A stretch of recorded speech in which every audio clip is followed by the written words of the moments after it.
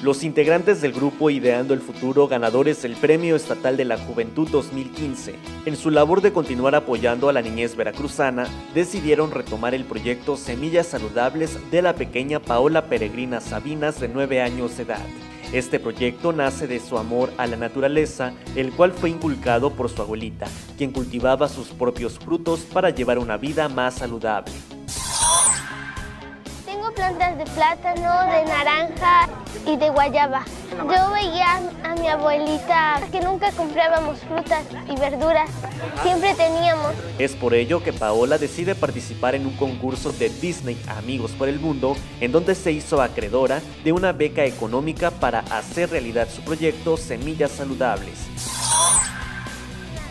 dibujo y me, avisaron que gané. Este consistió en habilitar el área verde del Centro de Atención Múltiple número 15 de Orizaba, Veracruz, para realizar un huerto escolar, en donde cerca de 30 voluntarios entre alumnos, maestros y padres de familia limpiaron el terreno, seleccionaron la medida de la huerta, prepararon la tierra con composta orgánica y abrieron surcos sembrando diversas semillas de hierbas de olor así como de verduras que en un futuro serán alimentos comestibles, libres de fertilizantes, de compuestos químicos y 100% naturales.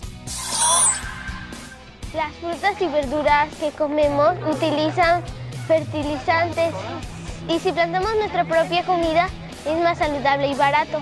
Este programa busca concientizar a la sociedad en general y que trascienda de ciudad en ciudad la importancia de cosechar su propio alimento, el cual, además de brindar diversos beneficios a la salud, también favorece a la economía del hogar. Pues podemos sembrar aquí distintas plantas, como por ejemplo estas de Chile, tenemos distintas de aguacate, de limón, estamos tratando de que crezcan aquí para posteriormente cuando estén un poco más grandes trasladarlos a distintas áreas que ya están deforestadas. Es que nosotros aprendemos a procrear nuestro propio alimento. Este proyecto es hoy una realidad gracias a la participación de decenas de voluntarios.